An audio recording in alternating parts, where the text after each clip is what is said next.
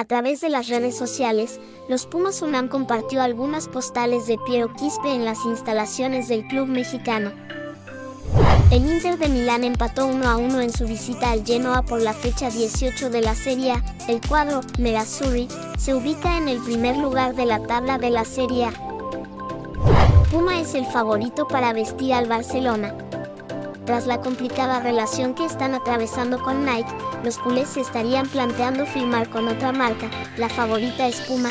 Este movimiento se daría hasta la temporada 2025 a 2026 por lo que la siguiente campaña los seguiría vistiendo Nike.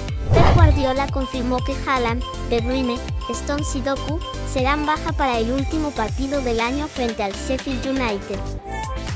El Real Madrid anunció que Carlo Ancelotti continuará siendo el entrenador del primer equipo hasta el 30 de junio de 2026.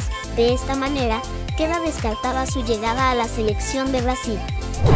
En una publicación de Instagram por Abola, donde muestran el ranking de los mejores futbolistas del 2023, Cristiano Ronaldo se burla en los comentarios con emojis de carcajadas, y es que luego de ser el máximo goleador del año, superando a Mbappé, Haaland y Harry Kane, no está entre los mejores para la Federación Internacional de Historia y Estadística de Fútbol.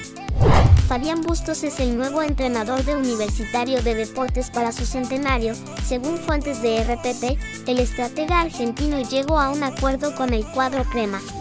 El Manchester United se queda sin Onana, y es que a su guardameta titular que ha sido convocado con la selección de Camerún para jugar la Copa Africana de Naciones. Según Esquien Deportes, Marcos Rojo agradeció la chance del Inter Miami pero decidió quedarse en Boca.